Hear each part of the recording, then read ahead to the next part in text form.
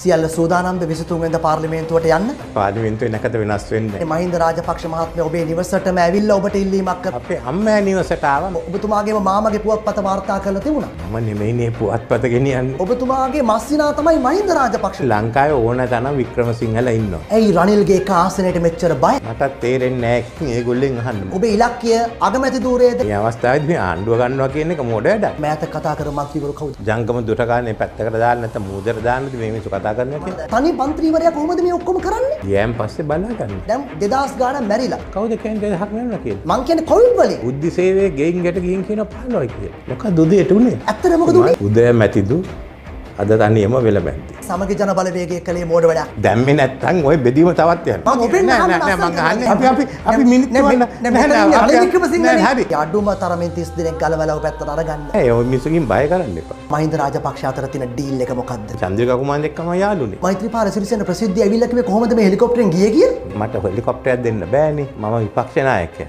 හැබැයි බලය ගන්න විදිය දන්න මොකද්ද වෙනස වෙනස? ඒක තමයි මං අහන්නේ කවුරුත් දන්නේ නැහැ. මේ රෑ ආප්පේ කාලා ගියා ආප්පෑදුවේ මන් නෙමෙයි. රනිල් ආවොත් එන්නේ තියෙන දේ විකුණන්න ගිය සැරේ මං ආවේ කුණුපුයව බේරගන්න. එක දවසක්වත් ජනාධිපති වෙන්න බැරි වෙලා තියෙනවා මට ඒක ප්‍රශ්නයක් වුණේ නෑ. ඒක ඉතින් ඔබ සූක්ෂමව මෛත්‍රීපාලගෙන් බලතල ටික ගත්ත කෙනෙක් නෑ, කලේ මම නෙමෙයි හැදුවේ. ආපහු ලිකම් ලිකම් විපක්ෂීය මන්ත්‍රීවරයෙක් වශයෙන් නැහැ අපි ඇහුවා මොකද ජනාධිපති දැන් කුරුණෑගල යන්නේ. සජිත් රනිල් වේතරම ශකයි මං එයාට ගිහින් කියන්න කොහොමද එයාගේ පක්ෂ කරන්නේ. ඔබ කවදද මේ රටේ දේශපාලනය සමුගන්නේ දෛවය කියලා.